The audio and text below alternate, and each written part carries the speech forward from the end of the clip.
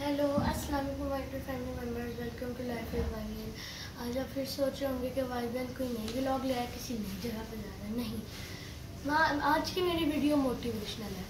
मेरे दादा जान, मलिक मोहम्मद हनीफ, जो अब इस दुनिया में नहीं रहे, उनकी मैं आपको कुछ नई बातें बता बताने लगा वो हर ट्यूसडे की ट्यूसडे उन बच्चों को पैसे बांटते थे जिनके माँ बाप नहीं हैं, जो कमज़ोर हैं, जो भीख नहीं मांग सकते। उनको वो पैसे बांटते थे।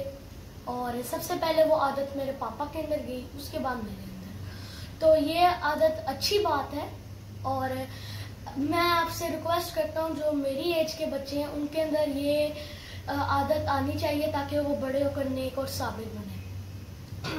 ये मैं किसी दिखावे के लिए नहीं कह रहा, ये मेरी वीडियो मोटिवेशनल है। आइए इन कमज़ोर तबकों को ऊपर उठाएँ, पाकिस्तान। आइए इन कमज़ोर तबकों